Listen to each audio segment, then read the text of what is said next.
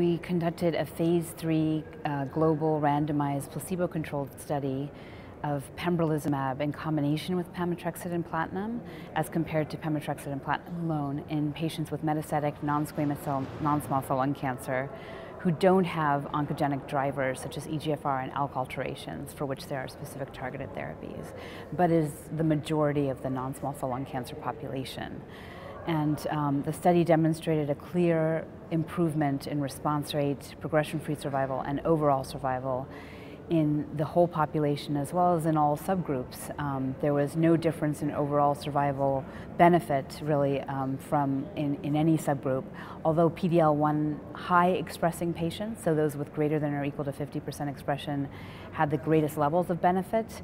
Um, even those who had less than 1% expression had a survival benefit. Uh, so the study was a large phase three randomized placebo-controlled study conducted in 16 countries at 126 different sites. Uh, patients were randomized two to one to receive either pembrolizumab in combination with platinum and pemetrexed or platinum and pemetrexed alone uh, with placebo.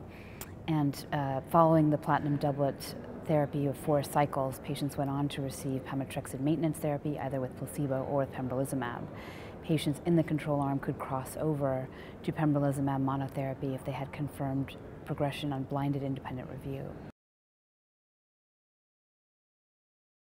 Overall, the adverse effects were really not different than what we might see with either chemotherapy alone or pembrolizumab alone. The incidence overall of chemotherapy side effects was really not changed, and the incidence of uh, immune-mediated side effects was also not really different, with the possible exception of renal events. There was a slightly increased level of nephritis, um, in the study, in the combination arm, 1.7% compared to 0.4% with monotherapy. And overall, there were more renal events with more acute kidney injury in the combination arm compared to the control arm, although the number of serious adverse events was still low at 2%.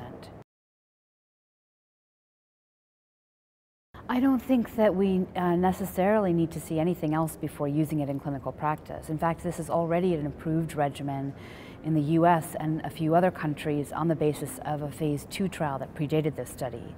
Um, most centers are doing standardized PD-L1 testing anyway to select patients for PD-1 monotherapy, and uh, I think this could be implemented right away, actually, um, you know, pending regulatory approvals in other countries.